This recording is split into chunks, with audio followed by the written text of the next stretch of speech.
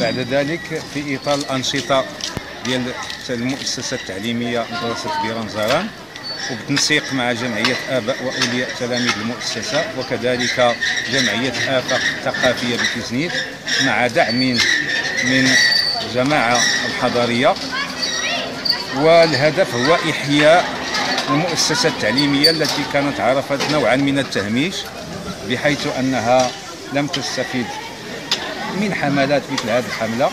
اذا وبالتنسيق مع هذه الجمعية والمجلس الجماعي أردنا إحياء هذه المؤسسة وذلك بغرس مجموعة من الأغراس مساهمة في في التنمية البيئية للمؤسسة وفي جمالية المؤسسة وكذلك إشراك المتعلمين والمتعلمات وتحسيسهم بالدور المهم الذي تلعبه الأشجار والأغراس والمحافظة على البيئة والنظافة عموما.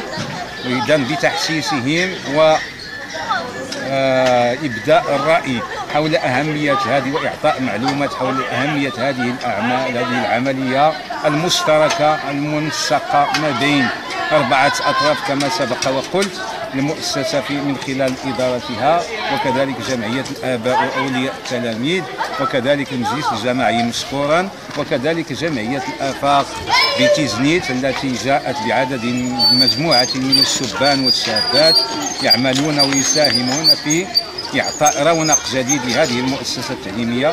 ونتمنى أن تستمر هذه الحملة إن شاء الله إلى أن يكون فضاء المؤسسة فضاء جميلا رحبا يستقطب تلاميذ ويعطي رونقا للمؤسسات ويعطي جمالية للمؤسسة وذلك كله في لفائدة المتعلم من أجل تشجيع التحصيل وجودة التعلمات وجودة الكفايات وإعطاء القدوة لإبراز أثر هذه الأعمال على سلوكية المتعلمين.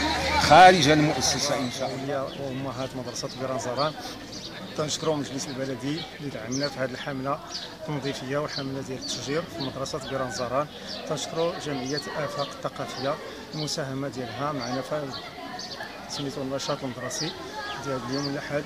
وتنشكروا جميع الناس اللي ساهموا معنا في هذا اللقاء حيث أننا قمنا بمجموعة من الأعمال في هذه المدرسة. حيث وجدناها مدرسة قاحلة لا لا مناطق خضراء فيها ولا أي شيء. لهذا قمنا بهذا العمل مع الشراكة ديال الناس اللي قلنا تنشكروا جميع الامهات والاباء اللي وضعونا اللي وضعوا فينا الثقة في هذا سميتو المدرسة.